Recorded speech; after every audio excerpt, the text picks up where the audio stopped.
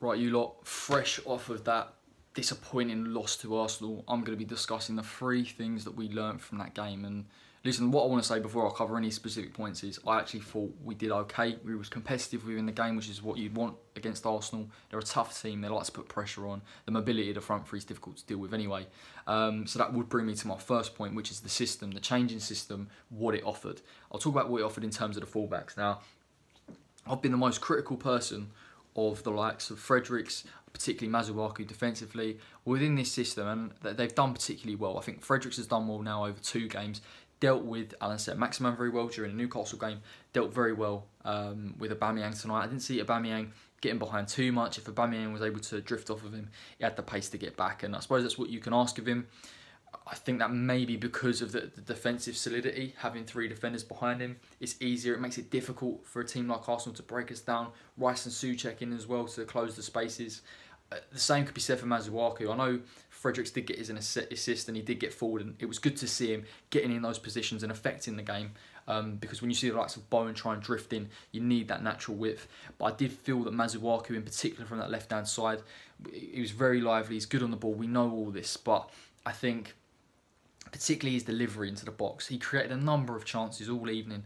It's incredibly impressive. We need to be seeing more of this from David Moyes. Put Arthur Masuaku into that team and give him a consistent run of games because yes defensively there have been lapses in the past but ever since he's come to West Ham we've never seen him in the side for a consistent run of games to build any form and I just think going forward he offers a lot more than Cresswell now numbers in the box I want to talk about this particularly in the second half. West Ham began to put considerable numbers in the box. You see the likes of Bowen moving.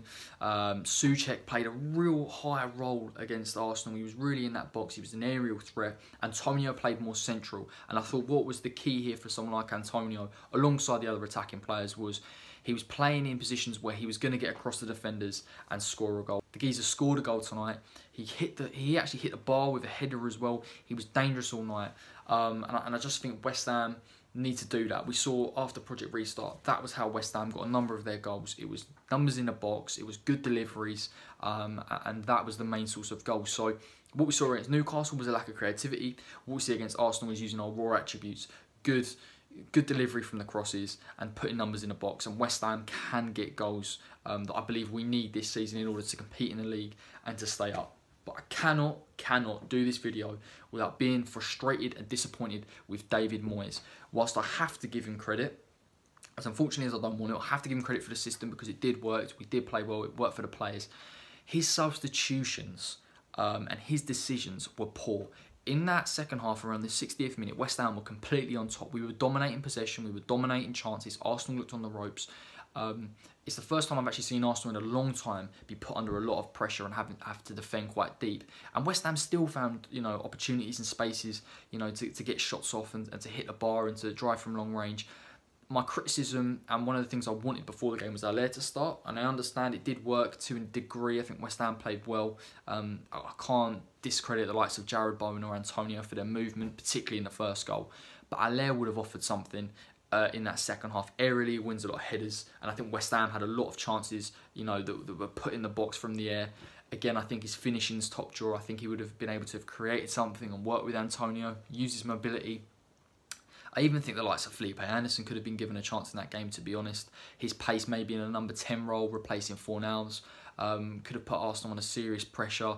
It was, it's just those decisions when you're on top that you use your attacking players, you know, at, your disposal. To not do that in a game, albeit I didn't expect us to go and get anything against Arsenal. But if you are one or you're dominating the game, push for the win, David, because we don't know when our next points are coming from. We've got tough fixtures: Wolves, Leicester, Tottenham. These aren't easy games, and Arsenal might not have a disappointing performance as this moving forward. If West Ham had got that extra goal, taken the impetus stop sitting back and inviting pressure and a team that you know's got the quality to, to pick you apart if it has if it can do and now um, listen and Nketiah did it and he, and he did it and he was there and that's why we should have got at least a point from this game it's massively disappointing I think we, the blame has to be shouldered on David Moyes I'm the first person to come out and blame the fullbacks. I'm the first person to come out and blame the lack of creativity. I have to come out and blame David Moyes for this one because he got it wrong.